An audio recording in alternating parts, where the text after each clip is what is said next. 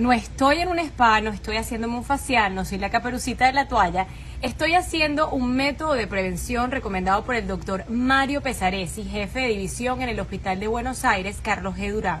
Él recomienda que como en las épocas de antes, como lo hacían nuestras abuelitas, como lo hacían nuestras mamás, pongamos una ollita con agua filtrada a hervir a una distancia segura para no quemarnos con el vapor. En mi caso puse unos pedacitos de jengibre y aspirar por la nariz, retener ese vapor caliente y botar. Repetir de nuevo por la boca, retener ese vapor caliente y botar. La toallita yo lo hago para atrapar más el vapor. Esto es porque el virus no soporta las altas temperaturas y es un virus respiratorio.